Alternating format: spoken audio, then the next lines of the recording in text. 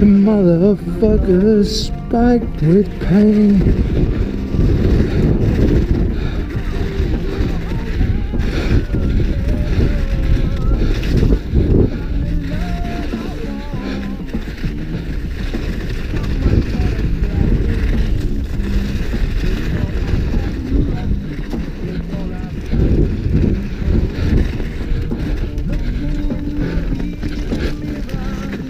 Hey!